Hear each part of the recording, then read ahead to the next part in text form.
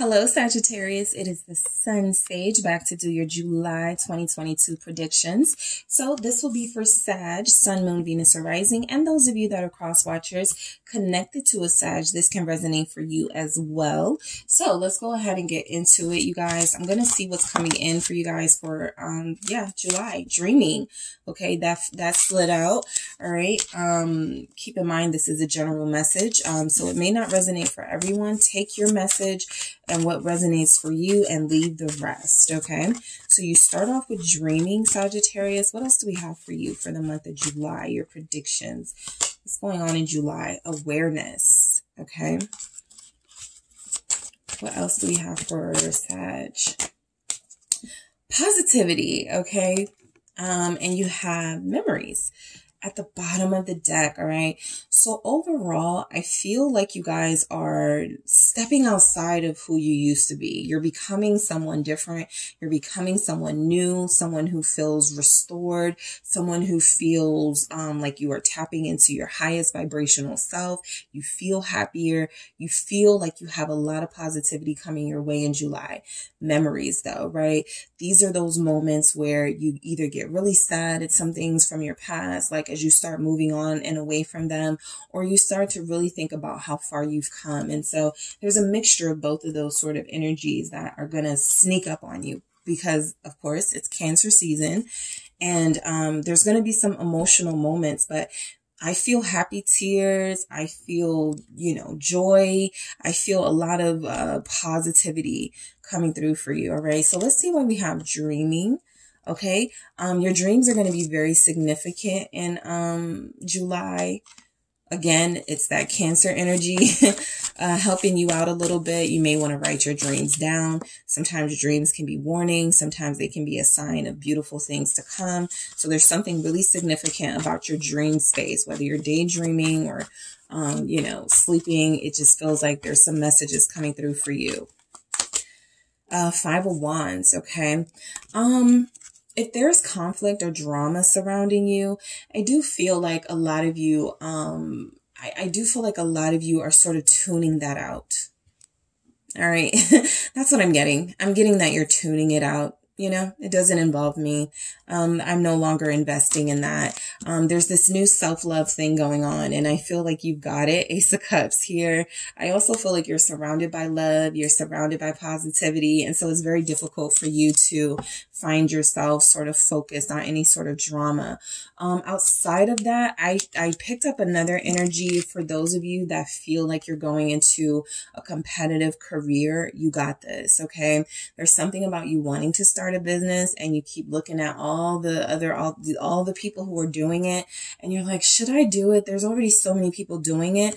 This five of wands, this person in the middle who you sometimes don't even see this person right here in the middle of all of those foxes, this person is fighting, right? They're still, they're still going despite the distractions around, despite the competition, despite the challenging nature of it. This person is, uh, is believing in their dreams and they're believing that they have, um, um, they have a shot. So you guys do have a chance, um, at something. Um, it feels like tune out also comparing yourself to others.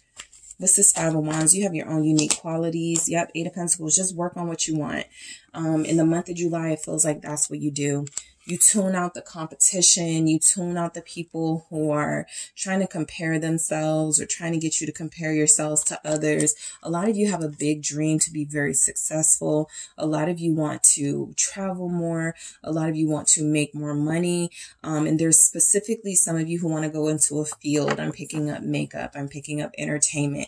And you're like, uh, everybody's doing it. Nope it feels like you have something very unique that you still need to work towards this goal for. There's something, yes, everybody's doing it, but you're not doing it. So there's something unique that you have to offer to this with that Eight of Pentacles. And there, it feels like there's good money involved in it. Um, some of you are already in a competitive career. Um, Eight of Cups. Yeah, you're already in some sort of career where you feel like, you know, the surroundings of it are just not making you happy and there's something else you'd rather be doing, but that puts you in this, the Two of Swords. I have to make a decision. Um, for some of you, you've held back on your dreams because of that comparing yourself oh, somebody else is already doing this. There's already somebody else who has cashed in on it. No, this Two of Swords feels like this is your moment to stop comparing yourselves to others, stop competing with others, and make the decision that's best for you, right? Some of you have like the goal, what you want right in front of you, but you're stalling on making a big decision. The Eight of Cups says that you're not happy with what you're doing, but you also have this sort of restraint and fear of going after what it is that you want. So, um, you guys are pretty fearless. I feel like there's something about you, um, in, in, July where you're more emotional. Um, you're not feeling as confident and you're tapping into that self love, but sometimes, you know, it feels like it, it is something that you struggle with throughout the month. What is Eight of Cups? Um, it's the Ace of Pentacles. Go after that new beginning. There's money attached to it. I feel like there's a new life, a whole new lifestyle attached to it. The Six of Cups is you've been holding on to something or even someone, but it more feels like something because the memories you have with it. Six of Cups, that's this memories, right? Um, that is the past, right? Some of you are like, I remember when I first started working here, Ace of Pentacles, and it was such a, you know, I thought I was going to go places. I thought it was, this was the, this was it for me. This was, and it turned out not to be, right? So don't make excuses for where you are now. If it is within your means, right? Cause everybody's not able to just pick up and leave. If it is within your means, I feel like this is something that is possible for you to just leave. And for others of you, that Eight of Pentacles shows that you may have to stay there eight more months right? Realistically, for some of you, maybe eight more years. But I feel like your big break is coming with this Ace of Pentacles. Um, and, and stop comparing yourself because there's something unique that you got going on. Somebody wants a tea shop or has a thing of herbal teas or something, a business they want to start. What is this Ace of Pentacles? Um, I feel like somebody is saying they don't have enough money, but you do. All right. I'm not going to call you out. Sagittarius with the Libra rising, Sagittarius with Libra moon here. But yeah, I feel like the Queen of Swords, um, make up your mind. That's what this month feels like. Yep. Two of Wands. We keep getting these twos for you. Make up your mind. All right. Um, this is saying that you have a vision of the life that you really want. You want more travel. You want more leisure. You want more peace of mind. you want more money. And I also feel like you have an awesome career idea or an awesome venture, invention or something. Somebody feels like an inventor here. It feels like you have something that you can do. Make up your mind. Be this queen of swords, Libra energy. I'm going to um, do this again. Um, put, um, I'm going to see what's coming through for this queen of swords. It's the knight of swords. All right. Um, You may feel like there's a Libra blocking you. Leo got this too. You may feel like there's a, a, Libra blocking you or there's somebody in your life that's blocking you from going after your goals. Two of Wands here. This person isn't that big of an obstacle, but yes, they could be the one represented here in this Five of Wands as, you know, your distractions and, and your challenges here. Um, it really feels like you have the, the, the, you have a way out of this situation. Okay. Um, your dreams are telling you something and possibly it could be telling you to cut somebody off. And that is your key to moving to the next level. Right. So if you have a lover, a family member, specifically if they're an air sign, Libra showing up, Aquarius, Gemini, that person could be what's holding you back. And I feel like you get this really detailed dream about this person and, and why you may not be moving forward or what the holdup is. If it could have something to do with this person. All right. So let's see why we have awareness. Yeah, that dream helps you wake up. That's the irony. Um, whatever you learn in that dream, whatever comes through, pay attention to the signs, to the symbols, whatever is coming through. It feels like that is your key to getting out of this stuck energy, to getting out of this feeling like you can't do it. What is this awareness? for Sagittarius. Thank you. It is the tower. Yep, that's your moment. That's the tower moment. That is your breakthrough. Okay. Something sets you free.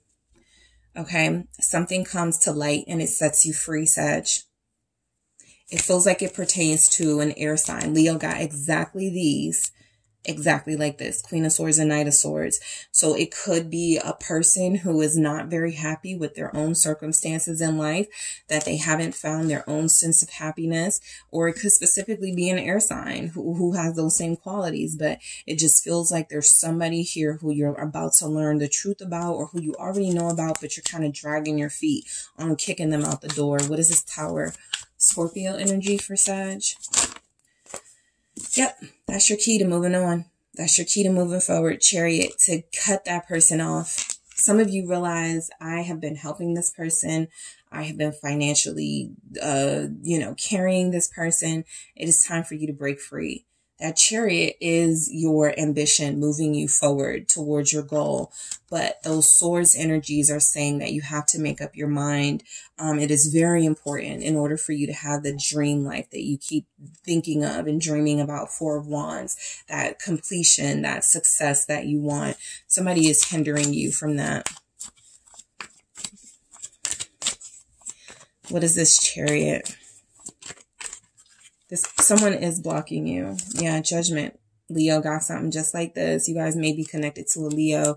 Um, the Leo and you are in this together. I'm picking up. Um, yeah, follow your gut. You already know who this person is for those of you that are dealing with this type of energy. Pisces showing up, Scorpio again with the judgment.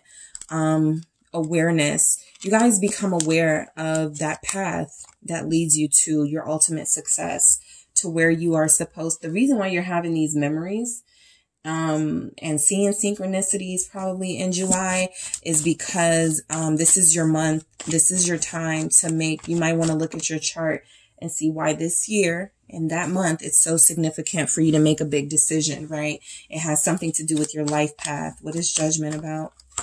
Um, yep, Queen of Pentacles. Your success is like within the grasp. Okay. There's more money on the horizon for you. Um, something that you start in July over the court until Scorpio season, not until, but in Scorpio season is when you really start to see that money.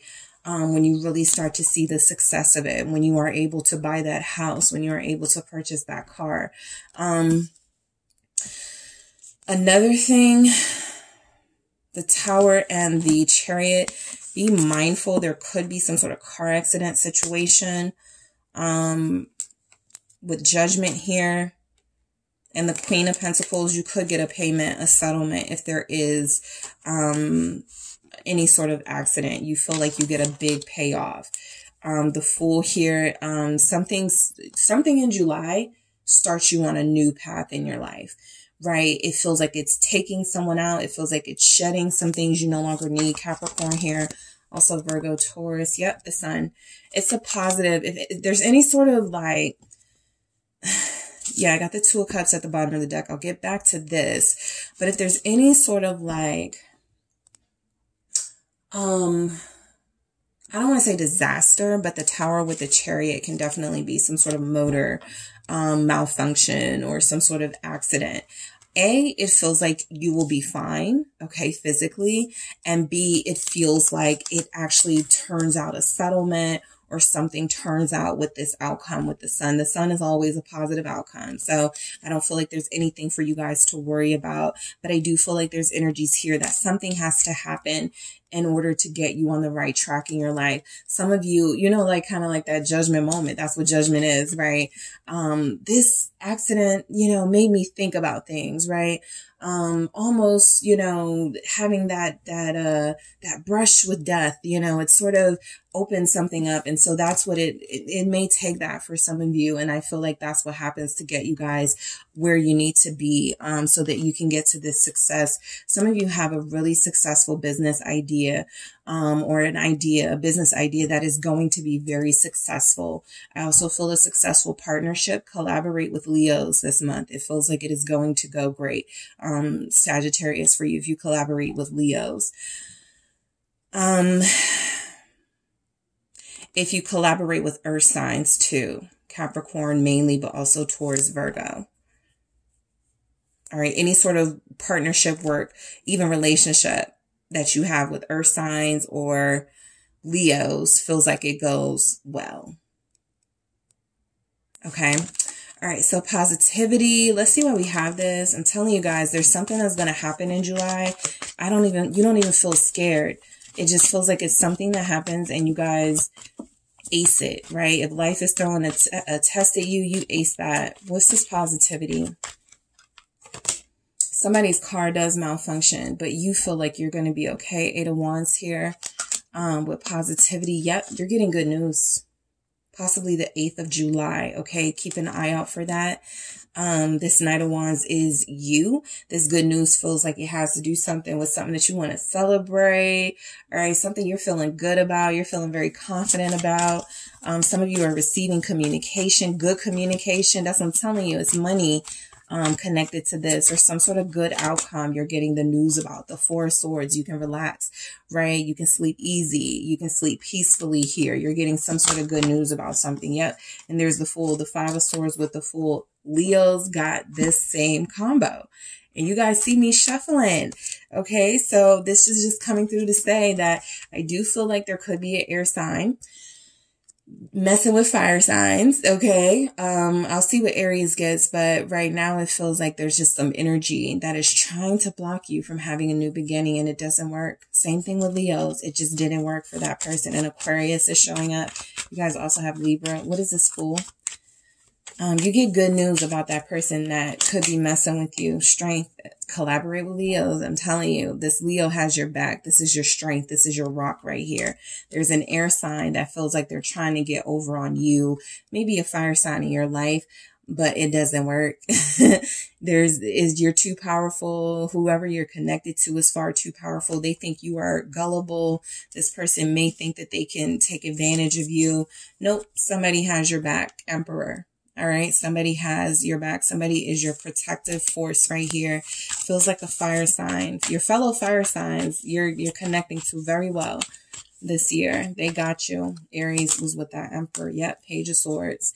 Okay. So the empress may be a mother figure, maybe a father figure. Um, it just really feels like, um, yeah, look at the the strength, the Leo energy going at this air sign. There's something here about you guys being very protective in this moment of those closest to you and most vulnerable, or somebody is being very protective of you in a vulnerable state in the month of July. So you feel very protected. You feel like you're in the midst of making a life changing decision, and the Empress is confirmation that you get everything that you manifested and wish for out of this. This is um, confirmation also that you guys will be looking and feeling very beautiful throughout the month of July. You will be connecting to nature. There's going to be something glowing about you. And so take advantage of that for those of you that want to get into cosmetics or some sort of aesthetic business. You look good. Okay. Um, and I also feel like this page of swords is confirmation that, um, there will be people who are, or someone in particular. I'm, I'm not going to say people because that's, that's too much. And I'm not picking that up. There's just somebody here who feels like they are jealous, but they're too small for you. You're too big for this person. They can't impact you in the way that they want it to. Um, so I'm going to grab one more message for you guys. This is the Rebel deck. And these messages are a little off the chain. so, you know, if it doesn't resonate, do not receive it. But let's see what comes through. What comes through for Sagittarius the month of July your predictions. What do we have? Stop talking. Shut your mouth and listen. All right. So the big message that's coming through with this is that pay attention that you saw that dreaming, right? Pay attention to those dreams. Pay attention to, you know, the signs and synchronicities you're seeing. There's a message coming through to you possibly about an air sign in your life or somebody that has that, you know, sort of energy. Um, there's a message coming through to you. Don't question it. Okay.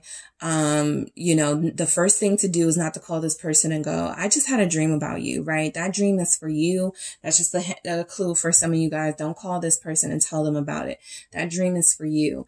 Okay. There's a message coming through for you in July, almost like it's telling you this person's time is almost up in your life. And there's an opportunity for you to start getting used to that so that you can move on to your new life. Okay. That feels like it's going to be absent them. All right.